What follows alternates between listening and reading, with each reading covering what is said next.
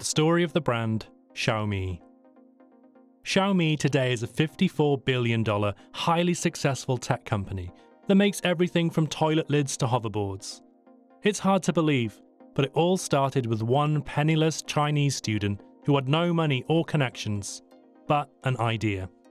Today, I will tell you about a relatively new brand that hasn't even been out for 11 years.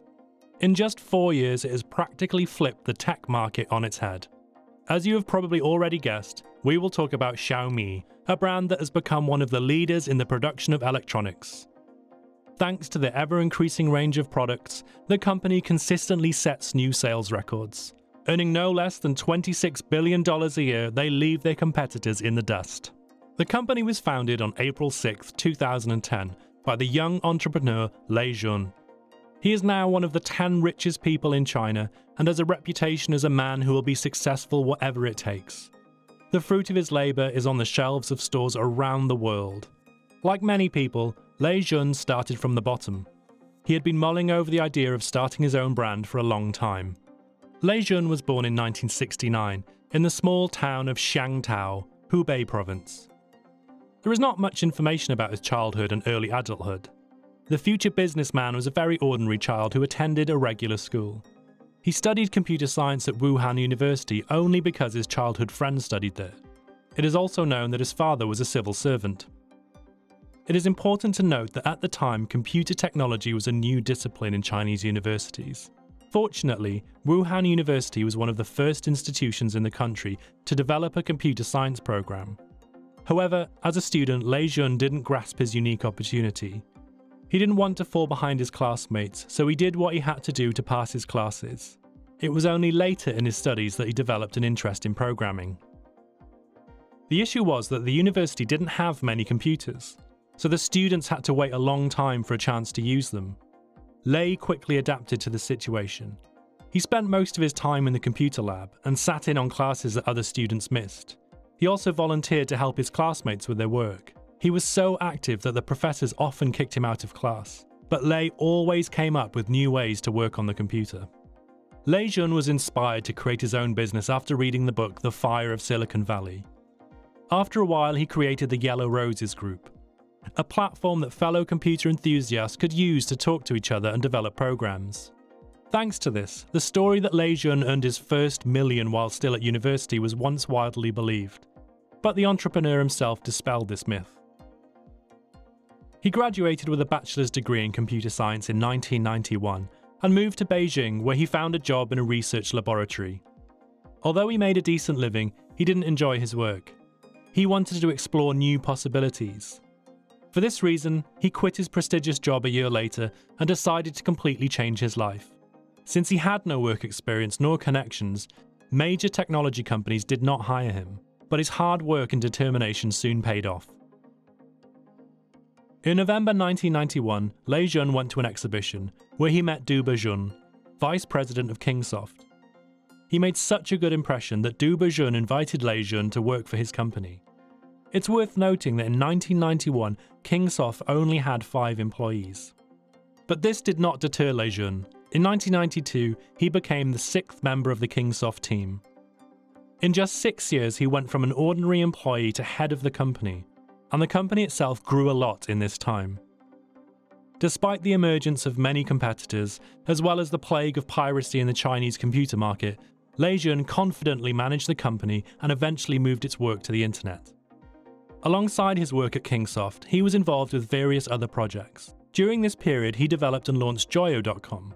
This platform for trading books, music, and videos was created in 2000, and in 2004 it was bought by Amazon for the impressive sum of $75 million. Lei Jun already understood the internet's potential, and he started to invest the money he had into a range of interesting projects. In 2007, Lei Jun gave up his post as head of the company. He believed that the age of software was over and the new internet era was beginning. After his departure, he retained a seat on the board of directors and made good money off his shares that he owned in the company. From then on, he focused on investing in various projects and was very interested in the internet. Some of his most successful investments are Local Payment, Vancl, and UC Web. Over time, he had saved up enough money and was ready to implement his bold ideas. This was the beginning of Xiaomi, which means grain in Chinese. Other than Lei Jun, the company started with just eight people, including his good friend Lin Bin. Without a doubt, going into the mobile devices market was a risk, as it was already controlled by a few large, well known brands. The only way to succeed was to take on the competition. The financial investment put into the launch of the new brand was quite small. Lei Jun also proved that startups are not just a young man's game.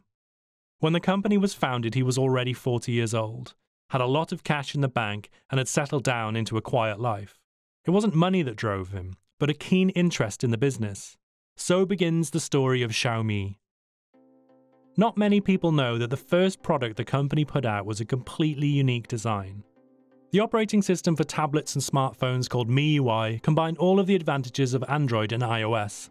It quickly became popular in China and overseas.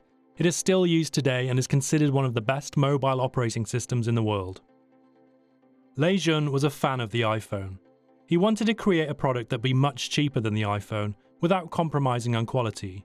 Xiaomi released their first phone, the Mi 1, in 2011. The phone came equipped with a dual core processor with a clock speed of 1.5 GHz, an 8 megapixel camera, and costed just $317. They were able to bring the price down by refusing to pay for advertising, using simple packaging, and focusing on online sales. Lei Jun believed and continues to believe that a high quality product does not need advertising. The phone was mainly promoted via social networks. He is still active on social media to this day. Other than the fact that he simply enjoys using the platforms, it is useful because he receives a lot of feedback from his customers that can be used to update the products the company produces. Eventually, the brand launched their own retail outlets, but the company still focuses on online sales as this is much easier for them. Phones are sold directly from the factory, so they have no need for warehouses. The sales algorithm is constantly updated. Now, the company announces the technical specifications of the new products in advance and sets an official release date through their website. The products are sold in retail outlets later for an inflated price. A certain percentage of smartphones are sold at cost. This is a strategic move. The company offers customers their own mobile services and makes money through that. For example, their Mi Talk Messenger app is widely used. The Mi Pay system was introduced in 2016. Lei Jun later transferred the right to produce phones to several other companies and signed contracts with them. From 2012, different versions of the Mi One started to appear with a range of colours. In that year, they set a new sales record for the Mi 1, selling over a million phones. There is no doubt that the leadership's ability to think outside the box has helped the company become one of the leaders of the market. When a defective Mi 1 was found, Lei Jun was quick to react. He didn't apologise. Instead, he opened workshops in Beijing where phones could be repaired for free. This shows that he is focused on the customer. Everyone was talking about the company again, and the defect was soon forgotten. The Xiaomi Mi 2 was released in August 2012. It was announced as the most affordable smartphone in the world with excellent technical specs and immediately attracted everyone's attention. The Mi 2 had a quad core processor, 1280 by 720 pixel display, Adreno 320 graphics core, and 2GB of RAM for just $300. The first 50,000 Mi 2s were sold online in under 3 minutes. Impressive numbers. They sold more than 11 million phones in 11 months, and the company was valued at $4 billion. In 2013, the company released some new products, including the Mi 3 smartphone, Redmi 1 budget phone, and the Mi TV. The company was the fifth highest ranking mobile brand in China and had firmly established itself on the market. But Lei Jun wanted more. In that year, the company opened their first store. It was opened in Beijing under the name Mi Home. It was based on the Apple Store and featured two special rooms for household products. It also featured an exhibition hall where many products could be viewed but not bought. New Xiaomi smartphones, for example, had to be purchased through the website. By 2014, the company had opened 54 stores. The company grew steadily every year and expanded its range of products. For example, in 2014, new products were introduced alongside smartphones and tablets, such as the Mi Box Pro TV set top box and the $13 Mi Band 1 fitness tracker. The range of markets the company now operates in is so great that it's pointless to list it all, you already know. As well as expanding the range of products on offer, Leijun has been acquiring shares in popular Chinese services, allowing the company to increase its personal assets. It reminds me of Leijun's nickname, the Chinese Steve Jobs. He resembles Jobs in several ways the way he dresses, his ability to take good ideas from his competitors, and his skill in building large companies. But there are some distinctions. Lei is a more laid back person, and he is prepared to do a lot for his clients. Lei believes that American entrepreneurs need to learn to make concessions in order to succeed in China. But there is one trait that Leijun and Steve Jobs definitely have in common they are both workaholics. Leijun has a very strict work schedule despite all his success and money. He keeps his personal life private and devotes a lot of time to business. His only known hobby is rock climbing. Many customers do not know how to pronounce the name correctly. We often hear Xiaomi, Xiaomi, or even Xiaomi. It's actually very simple. The word can be broken down into two parts, Xiao and Mi, which makes Xiaomi, with the emphasis on the second syllable.